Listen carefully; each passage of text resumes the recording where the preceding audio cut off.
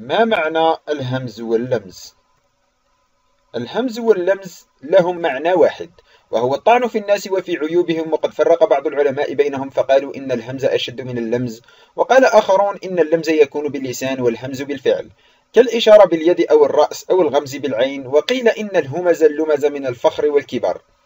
قد ورد في الآية الكريمة ويل لكل همزة لمزة. فالهمز هنا كثيرو الهمز. واللمز هم كثيرو اللمز والهمز بالفعل تعني أيضا أن يسخر من الناس بلوي وجهه أو العبس به ومما يرد في, الفقر في الفرق بين الهمز واللمز أن الهمز يكون في ظهر الغيب ويؤذي جليسه بسوء أما اللمز فيكون في الوجه فيكثر على جليسه عيبه ويشير إليه ويومئ بعينه.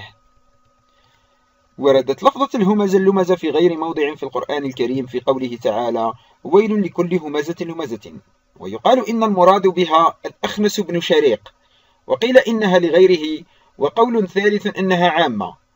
وكان عقاب من يفعل ذلك أنه يلقى به في جهنم وسميت هذه الصورة بصورة الحطمة وهو اسم من أسماء النار لكونها تحطم من فيها وتحرق أفئدتهم وهم أحياء.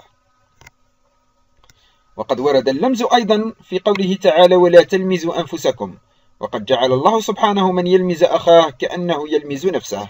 وفسرها ابن عباس رضي الله عنه بأن لا يطعن بعضكم على بعض. إن أحد أسباب اقتراف المسلم لهذا الفعل من غيبة الناس الاستهزاء بهم والسخرية منهم هو احتقاره لهم وحسدهم وكراهيته لهم وعلاج هذا الفعل المشين يكون بذكر عظم هذا الذنب وذكر عقوبته في الدنيا والآخرة. فصاحب هذا الفعل ممقوت عند الناس إضافة إلى ما ينتظره من عقوبة في الآخرة. فإذا تأمل عاقبة فعله فإنه يراجع نفسه ويعالجها.